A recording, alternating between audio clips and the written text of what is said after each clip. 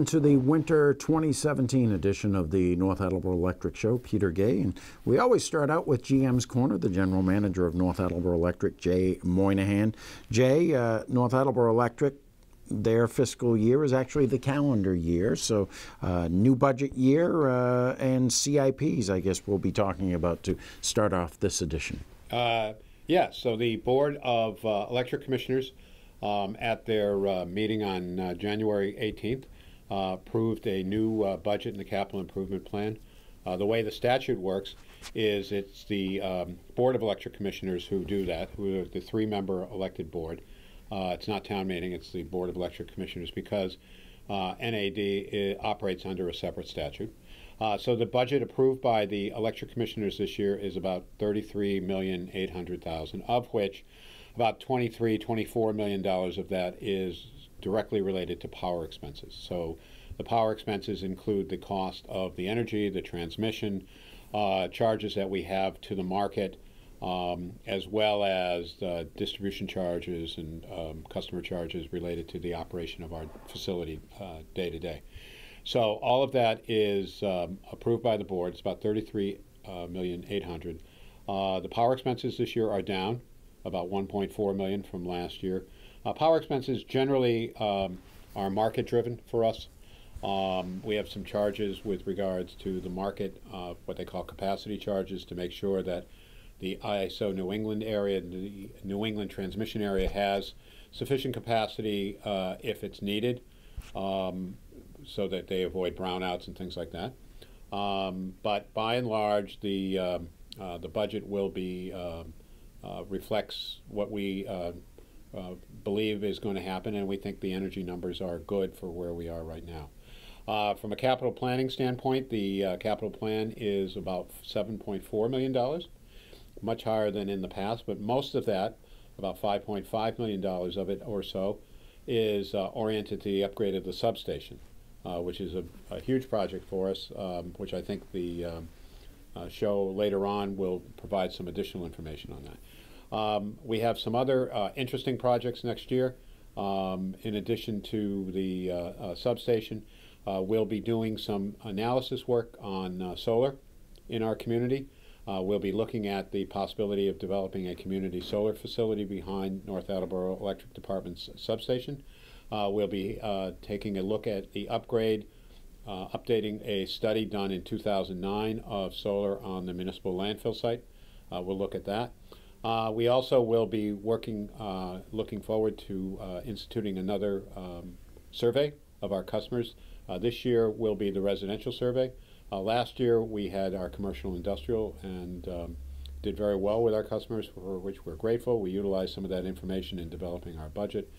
Um, so we'll be uh, taking a look at doing some of that. in addition to that, we will be doing a good deal of planning. We have a process uh, where we try to think 10 years out. Um, so we have what we call um, NAD 2027. In 16, it was 2026. We've moved on. Uh, we try to take a look at what the um, uh, facility will be, what services the customers will be looking for us to provide, what services we think we can be helpful with. Uh, that will be part of our planning process also as we um, uh, go forward in um, uh, 2017. So we have a lot of interesting and exciting projects, both capital and operational. Um, and as always, you know, our effort will be on providing quality uh, services to our, uh, our customers, both on a day-to-day -day basis as well as from an emergency standpoint. Winter traditionally the time of year that the planning is done and then spring summer fall when the majority of the work is done? Yeah we'll start uh, planning and then panic will set in probably by april or may um, but yeah i think that you know from a standpoint of uh, the way we operate in our process we're very strong on uh, on planning. Um, so planning probably for the most part would take place at the beginning of the year and at the end of the year thinking going forward for the next year. So our budget and our capital plan um, always try to reflect uh, a good deal of uh, consideration for the projects to come up in that year and then thinking about projects long range for where we can be. Uh, so we can avoid as much as possible, although you can never get away from it entirely, um, a situation where you're just doing knee jerk. We try to plan these things out, think about them in a period of year or two or three, and uh, that really helps our focus. North Attleboro Electric General Manager Jay Moynihan kicking off the winter edition of the North Attleboro Electric Show.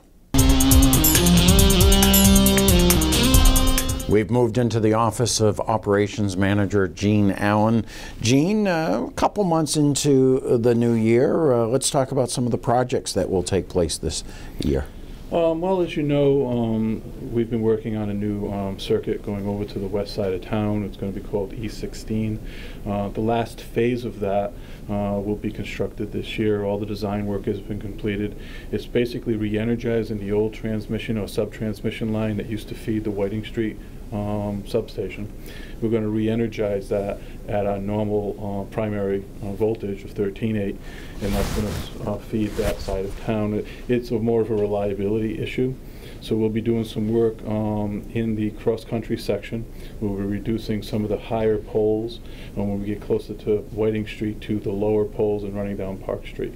So that should probably start in the next two to three weeks, we'll get over there and start depending on weather, and we should be finishing that up early in the summer. I believe you also have a project in the Cliffs area? Uh, the Cliffs area, we um, are going to be on the east side of town. Um, we now have E10 and E9. Those are our two circuits over there. We split that, as you remember, a couple of years ago. Now we're trying to bring backup feed into there. We want to be able to have four circuits into that area for redundancy and reliability. So we permitted through National Grid last year to cross at the end of Cliff Drive and go over and up through the uh, park. So what we'd like to do is finish that design, go out to bid, and get that conduit installed uh, this year, and then we'll do the wiring next year. Uh, are these type of projects the reason why after a hurricane, after a blizzard, there's sections of Massachusetts, large sections that lose power, but maybe only one or two homes in North Attleboro lose power, are all about reliability? It, our bottom line is reliability at a reasonable cost. And what we do is we um, go out and we say, where's the weakest part of our system? And then we go and we try to strengthen that part of the system. Um, it's not so much after the storm, it's during the storm. You don't want to have poles that are coming down, wires that are coming down. That's why we do such an extensive trimming and tree removal program, because uh, usually that's what causes a lot of the outages um, when you come to electricity um, in, in, other parts of the town. You have trees that come down and take the wires down, um, poles that break. We try to get on top of that. We inspect through our maintenance programs, which we've gone over in the past. We go out and we inspect all the poles. Uh, once every five years, we've inspected every bit of the infrastructure in town, and if we find a problem, we repair it. We don't let it sit there. And I think by doing that, it um, gives us uh, very good reliability. But also, if there is a problem in the system, we want to be able to go to a backup. And, and that is uh, part of putting E16 in, much like when we did a couple of years ago when we did um, circuit E9. When we're done with this, if a circuit is um, rated at 600 amps, under maximum load, we'll only have 300 amps on it. So what that allows us to do, and when I say maximum load, July and August when it's 95 degrees for three days, you have that's usually when your, your, your maximum loads are. But it, if we had an outage at that particular point, the adjoining circuits can handle the entire load of that circuit. So we can shift all the load in a matter of a few minutes or you know 30 minutes so you don't have that long duration of an outage because we can shift the majority of the load off to other areas while we do the actual repair. I know uh, one of the projects we talked about, and it's a very detailed project, is uh, upgrading the Sherman substation. We spoke about that. It was either the, the last edition of the North Attleboro Electric Show or the edition before that. Uh, I understand uh, that project moves forward this year. It does. We actually have uh, a couple of bids out right now that we're reviewing. Um, the uh, new substation, substation or power transformer is has been bid and the switchgear has been bid. And we also have uh, probably over the next month we'll go out with uh, some 115 uh, equipment and then we'll have the contract that will be in the spring um, that will go out. So all this will come to construction that will stop probably August, September timeframe, and then the transformer and the switchgear will be delivered sometime in probably October and November, um, and we should have it all energized probably early part of 2018. The primary goal behind this is, isn't because we need to increase our load uh, capabilities, but a couple of transformers that we have over there now are from uh, vintage 1969. Um, we've got our useful life out of them uh, before they break down and fail. We want to make sure that you know we're at the end of the life. Let's replace them and, and plan for uh, the next uh, 50 years worth of power. And as I understand it, the, the footprint will be larger. Um, the, the actual substation itself, we're not going outside the existing boundaries. Okay. Uh, we're removing two old transformers and we're replacing them with one because we didn't have the double step down, or we had the double step down in the, in the past from the 115 to 69 and then 69 down to 13.8. This is just going to be from 115, which is the primary voltage coming in from the grid, down to our primary voltage, which is 13.8. So it's a less of a footprint as far as that Okay. type of equipment. The switchgear is going to be probably three or four times larger than what we have right now because it's going to be handling more circuits. And uh, once again, we'll just, uh, the key word being reliability. There you go. That's it. Gene Allen, Operations Manager here at North Attleboro Electric. We've moved downstairs to the office of Chris Mitchell, Project Manager here at North Attleboro Electric. We're talking fiber, fiber upgrade, something that uh, I know that the town was talking about doing their own fiber upgrade, but turns out North Attleboro Electric is uh, doing one which will certainly benefit the town. Yes, it will. Um, we started out in 2004 when the fiber network that currently serves the town was built with this. This is what's called a tree and branch. Basically, the head end is here and everything runs out from there. Problem here is if you get a branch falling off, everybody who's connected to that branch is offline. Use of the MuniNet is accelerated as the town uses more and more data and has more and more applications that can be enhanced further by better connectivity. Security cameras, voice over IP to lower telephony costs, all good things that are worthwhile in the town budget. These are things that um, require a little more resiliency. North Attleboro Electric does as well. So, retro building, if you will, we're going to, over the next two to three years, beginning this year, build out sections of the network to begin to build a loop around. So we have resiliency. If something fails over here, it will have a path back. The biggest build this year is going to come through the industrial park from the head end, which is out in the upper parking lot here. Yeah. You've been there before, to point on Commonwealth Avenue. We'll also be connecting switches at the mall so we can monitor and maintain those remotely for engineering and for operational purposes.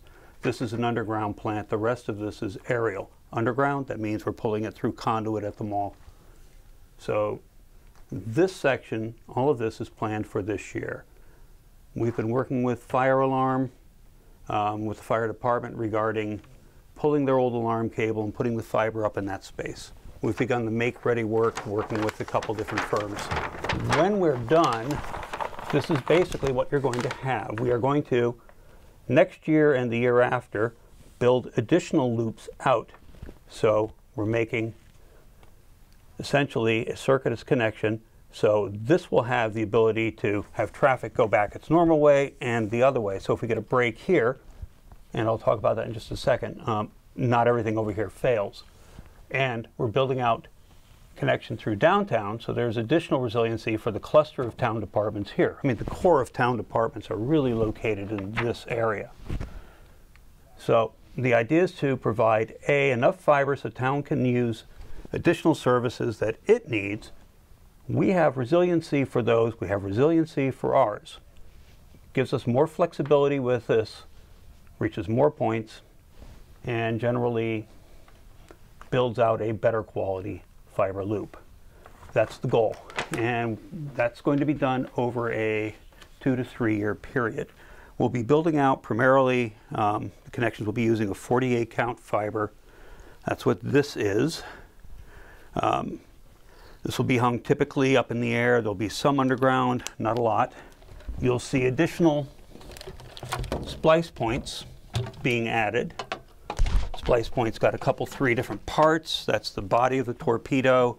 This will be a splice tray with a section that'll fit back in, and this tail whip basically is where the fiber's fed in. The fibers get parsed out in here. Parsed out, plain English. Um, we take the individual strands and we connect them up. That's where they go. Back out and around. So, not only will, God forbid, a, a branch come down, that the system doesn't go down, but uh, with this new fiber, will it be faster? Uh, fast is really controlled by the endpoints, Okay. and that's another thing we're working on in my fiscal 2018. Um, I was uh, granted approval to start looking at higher bandwidth equipment for the MuniNet. Right now, the gear we're using has been in place since 2004, and while it's gigabit Ethernet connection, that's great, but more use means more bandwidth is needed. So we're looking at the next step to either 10 or 40 gig, um, and we'll be working with various vendors this year, testing devices out in the field to see what we like what we don't like, what works and what doesn't work. Bandwidth is useful. The more of it you've got, the better off you are. Um, trying to cram a lot of different data over one single connection, not always a good idea. So more data, let's give more bandwidth.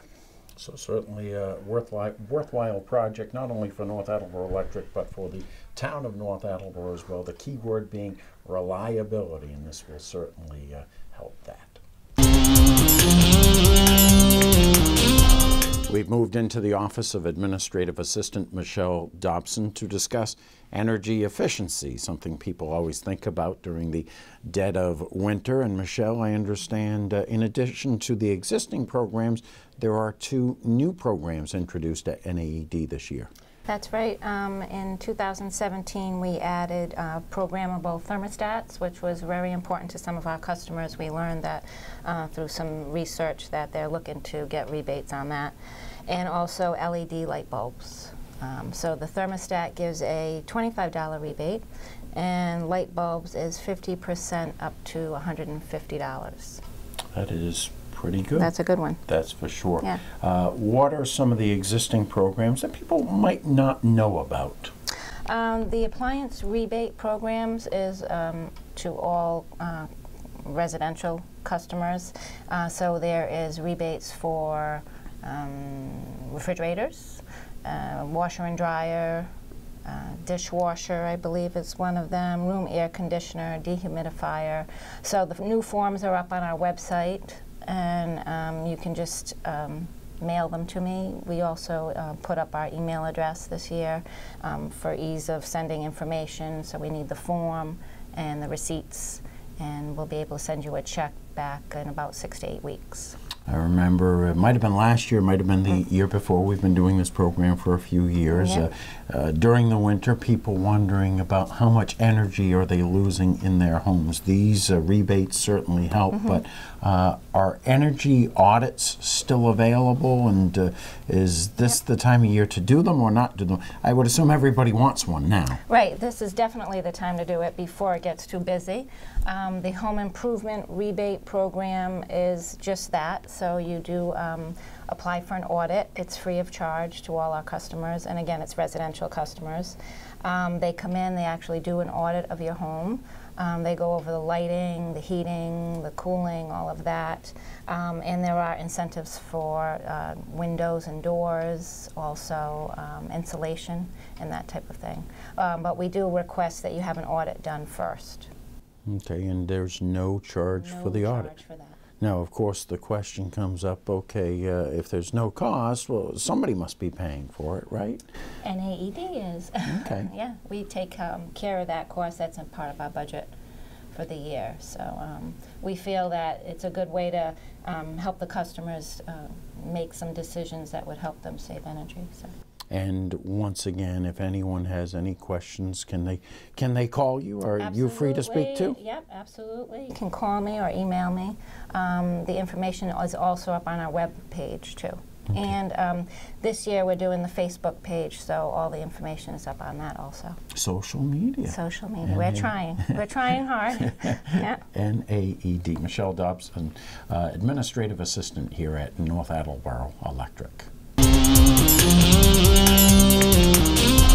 We're with two of the system engineers here at North Attleboro Electric, John Miller and Peter Schiffman, discussing LED lights on poles. And the only reason I know about this is I read in the Sun Chronicle that North Attleboro Electric, North Attleboro received a grant to replace lighting with uh, lighting that's more efficient. Uh, now, as you said, John, before we started this interview, this isn't the first time NAED has done this. No, we're always looking to make, uh, improve efficiencies as much as possible. Uh, Way back in the 1890s, we were the first utility, I believe, to use incandescent streetlights all over the whole, whole system, so that was the first start. Over time, we switched to something called mercury vapor lighting, which is an improvement, significant improvement. I don't know if you see the white lighting that was out there. Uh, more recently, say 10 plus years ago, we switched everything to what's called high pressure sodium, which is that kind of orange light. Uh, that was the state of the art at the time, lowest cost, uh, highest efficiency. And now there's a new technology, which people probably know about a little bit, the light emitting diode or LED lighting. And it's finally being applied to street lighting. And we're looking to adopt that system wide. Uh, to, uh, in, for maintenance purposes, it's much better and also at a lower costs. Peter, what type of uh, savings are we talking uh, for the town of North Attleboro? Well, um, as part of this grant program, uh, they're estimating, which is the Department of Energy Resources and the Baker administration, uh, anywhere from 30 to 70 percent, depending on the wattage and type of bulb. But obviously, that's vendor specific. That's bulb specific. We have 50 watt bulbs. We have 100, 150, 250, and 400 watt floodlights um, that would be looking into um, as part of this. Uh, right now, I mean, the vast majority of the installations that we have are 50 watt high pressure sodium bulbs, which burn, uh, uh, you think 50 watts, but there's a ballast in there, so you add another 10, maybe 15 watts, so 65. Some of the LED replacement bulbs that we're going to be evaluating and then installing claim to be within the 30 to 40 watt range. So right there, some in some cases, it could be 50% savings uh, of energy savings. The cost obviously depends on what the current cost of electricity and other things, uh, other factors that are involved, and that has to be calculated out. But energy efficiency wise, we can say 30 to 50 percent on some of our installations that we want to see. Um, John, how, how long of a project is this, and when will residents start to notice, hey, the, the streetlights are different? We haven't evaluated which fixtures or how we're going to do this as yet. There's a grant process involved with the state. They have certain requirements. Uh, once everything's approved and ready to go, there's a fairly rapid uh, time to install. The state's mandating it's a little over a year, I believe. Uh, so I'm not sure exactly when this would start, but let's say six months, and then we would have like a year or so, and the whole town would be switched over. That's the current understanding of how we would proceed. Yeah, right now the grant is actually, um, we have to have everything installed by June of 2018. There are 12 municipals, uh, municipalities total that are included under this grant through Energy New England. DOER also has another grant program that they, they're working on with other Massachusetts utilities included with towns that are part of IOUs like Eversource and National Grid. So this is specifically for the municipalities and the municipal light plans. Uh, so we're fortunate enough to be able to get into this grant program, which is going to allow us 50% of the material costs, doesn't include labor. So as we go through the process, the materials of LED light bulbs uh, and street lighting has reduced every year. So every time we start to see new vendors and, and new new products come out, the prices keep going down and down and down. So uh, right now, a fixture is anywhere from 100 to 150 dollars, and 50 percent of that would be covered. Also, as part of this, uh, we're looking at potentially getting smart controls, which allow us to do more than what's happening today. Is called dusk to dawn. So at night, the light comes on, and in the morning it shuts off. We actually want, and we're investigating this, we want to be able to control all the lights from a central system, monitor all the lights at once, and these also have dimming functions. So going from 100% to say 70% is it's perceptible by the human eye, but it still gives you quite a bit of light. So Cambridge, for instance, is dropping from I think 100% down to 50% after midnight, and they're getting additional savings. So that's something that we want to look into as well. John, you mentioned, uh, you know, years ago that the orange, the, ye- the yellow lights that people associate with streetlights, will these have more of a, uh, a white color to them? And because not everyone likes that. Yeah, one of the problems with LED lighting in its simple form is it's extremely white. I personally find that somewhat problematic. I don't like the glaring white color. However, now the streetlights that they're making, they have something called color temperatures, which I won't get into too much, but there's a whole range from very, very white to not just a better, a little bit more uh, white than what we have right now. So we're going to pick a light that's called 3,000 degree Kelvin, uh, which is kind of a little bit of an orange color to it, and that'll replace the ones on side streets and so forth. But on the high, major highways, we're thinking using something called 4,000, which is pretty white. Uh, the of the light, the better you can see, but the more glaring it is, I guess might be a way to say it. So we're trying to evaluate what the best color is that won't, it's most, you know, people will find the most comfortable. And we're three, thinking right now, 3,000 degree, what's called for side streets and small streets, and 4,000 for highways. Uh, The current light's are what's called 2,700, if you can kind of picture that on a scale. Now, now, Peter, I know there's been some communities where residents have complained they don't like the new lights, uh, they're too bright. Yep. Um, whether it's a complaint of being too bright, too glaring in the window, too white, not bright enough. Sometimes we've gotten, we've heard of those types of things. So we're anticipating lots of uh, questions, and these are the questions that we're asking. Not only Energy New England, we're asking. We're going to have to ask each vendor how are they dealing with that. We've gotten a lot of answers. We've gotten a lot of information that a lot of their technicians are taking back, looking at the American Medical Association's uh, info information that they put out on blue light and its effects on human health. And they're actually doing some studies to see, and, and they have very interesting comparisons between your television set and your phone, having much more blue light output than your traditional bulb. But as John was saying, the whiter it is, the more blue light there is. So a lot of communities are going to that 3,000 Kelvin bulb, which we're really um, focusing around for our residential neighborhoods. The 4,000 Kelvin, if you see those on the main roads, it just gives you greater visibility. So certainly a project uh, North Attleboro Electric is uh, working on, and uh, you will start to see the results sometime in the near future.